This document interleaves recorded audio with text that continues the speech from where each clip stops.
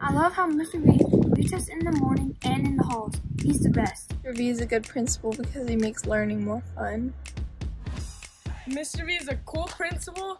He's funny and he's always willing to help.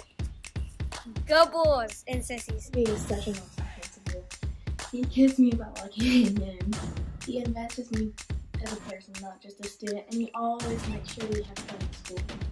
Mr. V is awesome. Thank you. We appreciate everything you do for our school. We, We love and miss you, Mr. V. He is awesome because he has the right get to attitude. Mr. V is the best because he makes going to school fun.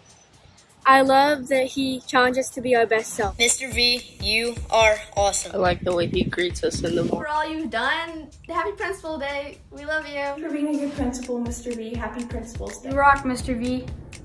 Mr. V is awesome because he is so positive and still tries to make every other person's day a whole lot better. Wanting to tell you happy Principal's Day, and we love having you at BMS, and you make it so much better. And thank you for being an amazing principal and for caring so much about your students. Mr. Volkanar is a cool principal because He's very laid back and chill, he interacts with other students. and he greets everyone in the hall. Hi, my name is Shreya Vidal. I think Mr. V is a good principal because he supports us in our academic and athletic group. And go and Sissies. Principal's Day, Mr. V. We love you. Mr. V is not only a great principal, he's a great person. He interacts with the students very well and is always checking on the class. Happy Principal's Day, you're the best.